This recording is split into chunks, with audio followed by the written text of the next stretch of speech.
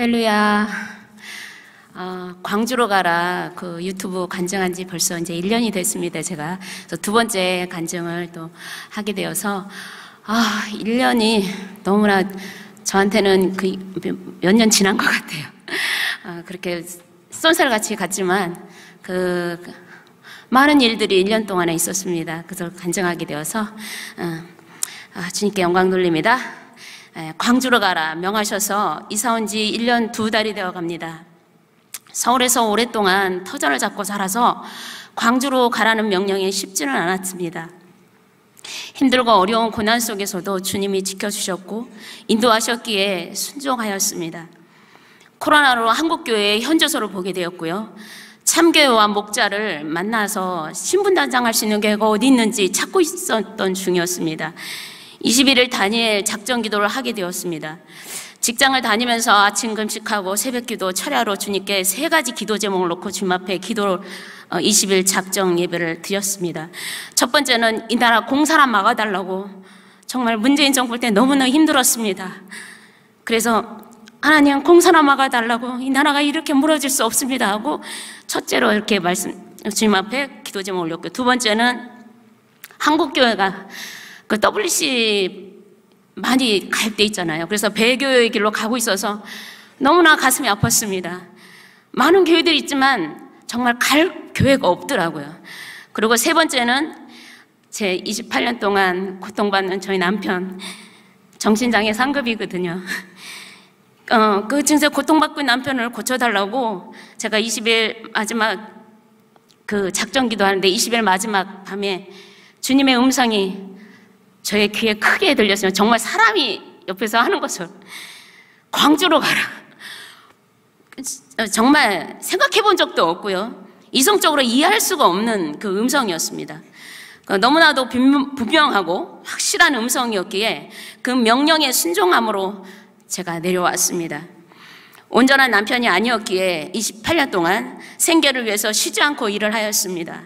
그러나 이제 광주로 내려가면 하나님 나는 이제 내 삶을 살고 싶지 않아요. 어, 세상에서 내 에너지를 다 쏟고 싶지 않아요. 이제 광주로 내려가면 주님이 원하시는 교회, 주님이 하고 싶, 원하시는 그의 나라를 세우기에 제 인생을 바치겠습니다 하는 마음으로 광주에 내려오게 되었습니다. 주님의 나라와 교회를 위해서 일하겠다고 성기도 하고 내려왔습니다. 내려와서 생활해 보니 모든 것이 낯설고 물설고 넉넉지 않은 삶이었습니다. 5월달쯤에 인간관계 어려움과 가족들의 흔들림이 다시 서울로 가자. 남편도 교회 안 나오고 아들도 교회 잘 안 나오고 세상 깨락에 빠져서 게임 유튜버로 세상이 주는 쾌락과 즐거움에 빠져 살았고 어떤 날은 아들이 저에게 하나님이 광주로 가라고 하셨으면 잘 돼야 하는데 이게 뭐냐고 투덜거리는 말도 하기도 하였습니다. 그럴 때 외적으로 내적으로 오는 공격과 심적 부담감, 미래에 대한 불확실이 다시 낙심하려 할 때 예배 때 목사님이 말씀과 안수기도와 축사로 다시 불을 받게 되었습니다. 주님의 말씀을 다시 붙잡고 일어설 수 있었습니다. 서울에 살 때 남편과 결혼한 지 1년 후에 정신분열 증세가 와서 병원과 퇴원을 반복하고 시댁 식구들의 핍박과 믿지 않는 친정 부모님들의 원망들이 지금 와서는 생각하면 그 힘들고 어려운 과정을 어떻게 살아왔는지 꿈만 같기도 합니다. 그 깊고 캄캄한 터널이 언제 다행히 나올 수 있을까 하며 미래가 아무랬으나 주님의 도우심이 아니었으면 지금 현재 우리 가정은 존재하지도 않았을 것입니다. 성경의 인물들 중에 모세, 아브라함, 요셉 다 연단 속에서 광야길로 훈련받아 혼이 깨지고 영의 사람이 된 것처럼 저도 그런 과정이라 생각하니 힘이 다시 솟더라고요. 그렇게 신앙생활을 하다가 작년 11월 치유 축사를 접하면서 가정의 회복이 성령님의 내주하심에 경험하게 되었습니다. 용범이 아들이 직장에 퇴근하면 자기 방에 들어가 게임하며 새벽까지 또는 쉬는 날에는 12시간 이상씩 게임과 미디어의 중독에 빠져 있었죠. 그런데 치유축사를 만나고 성령께서 내주하시니 세상의 미디어, 문화, 게임하는 즐거움이 한 번에 다 끊어졌습니다. 예. 그리고 치유축사를 함께 하다 보니 팀별이 매일 모여서 훈련하고 집에 오면 거의 12시, 1시 이렇게 됐었어요. 그렇지만 너무 마음이 기쁘고 즐거웠습니다.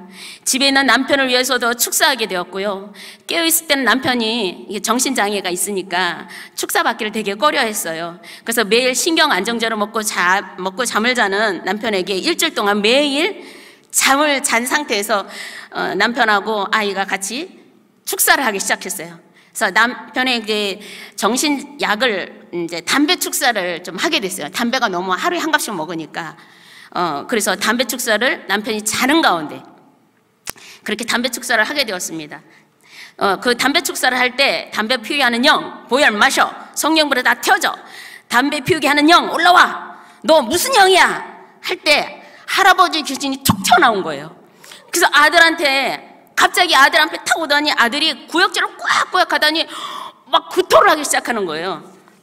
그래서 엄마 할아버지 귀신이 할아버지, 할아버지 귀신 이게 뭐지? 그러니까 사실은 저희 시아버지가 폐암으로 돌아가셨거든요.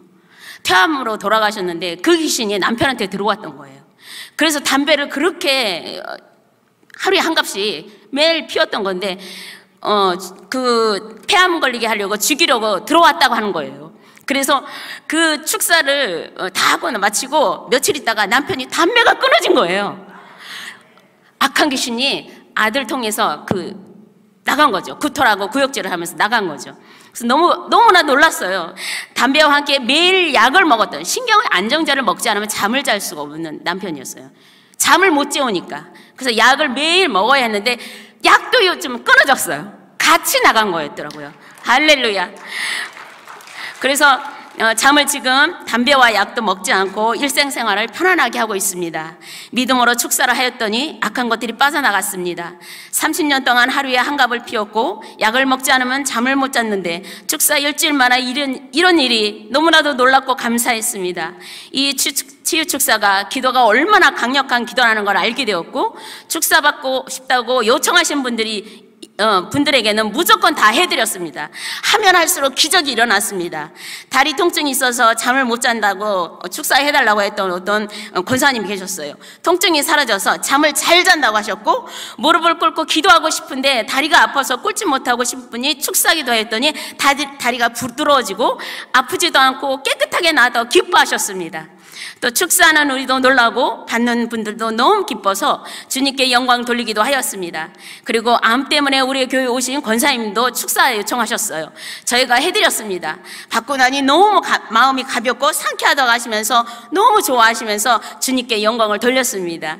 마가복음 16장 17장 18절에 믿는 자들에겐 이런 표적이 따르리니 곧 그들이 내 이름으로 귀신을 쫓아내며 새 방언을 말하며 뱀을 집으며 무슨 독을 마실지라도 해를 받지 아니하며 병든 사람에게 손을 얹은 나으리라 하시더라. 아멘. 지금 마지막 때입니다.